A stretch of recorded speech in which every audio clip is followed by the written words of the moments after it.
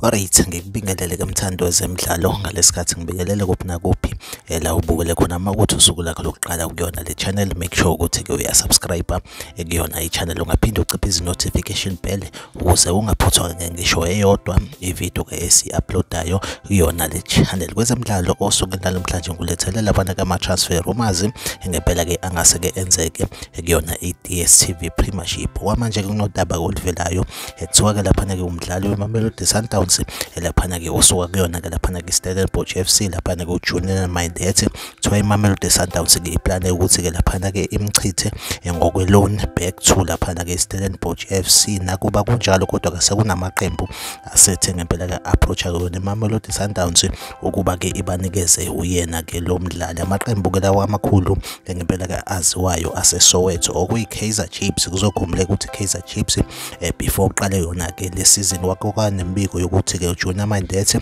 ngempela ke ufunwa yilona iqembu leKaizer Chiefs kodwa ke wagcina kungenzekanga lokho wagcina ke ekhale wamuka nayo ke iMamelodi Sundowns. So kuthiwa iKaizer Chiefs ngempela ke isinxenxa lapha ngeMamelodi Sundowns ukuthi ngempela ke kube iyona ebaboleke ebabolekayo ke yena ke lo mdlali. Kanjalo ke neqembu leOrlando Pirates nawo kuyavela kuthiwa ke nalo ngempela ke liyafuna yamfuna ke yena ke lapha ke uJunior Mindete asazi ke noma kuyogcina kwenzakaleni yini lokho kodwa ke sithembe ukuthi ingxoxo zabo nalo ke iqembu leMamelodi Sundowns zizoba impumelelo. So asikulindele nje ukuthi uJunior Mindete engasebolekiswe phakathi kwawo ke amaqembu laphana ke amabili between lapha neOrlando Pirates kanjalo ke neKaizer Chiefs engabe esabuyela laphana ke kusona ke iStellenbosch FC like ivideo ke bese uyasubscribe kuyona ichannel. Mina nawe ngizoloko update nje ukuthi ngabe kwenzakalani kuyona i-DStv Premiership mayelana nawo ke ama transfers okwamanje ke video yethu salikatli